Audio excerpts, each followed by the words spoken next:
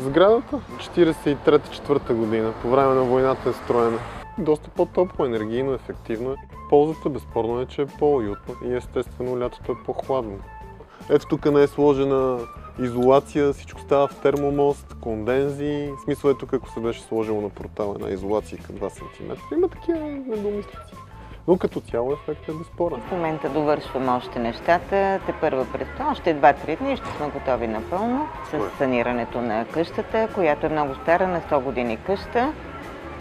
И трябва да се запази по някакъв начин. В района е доста влажно и тя беше пред разрух. От е, економическа гледна точка, нали, доста е, е, температурата се промени страшно много в самото заведение. С два климатика много трудно смогвахме да да, да се отоплим, нали, хладно беше, докато сега все още не е довършено и е много различно. По-лесно се отоплява, по-лесно се охлажда, съвсем различно е, нали. Чувстваме се по различен начин, много добре. Клиентите също се чувстват, нали, те го забелязват.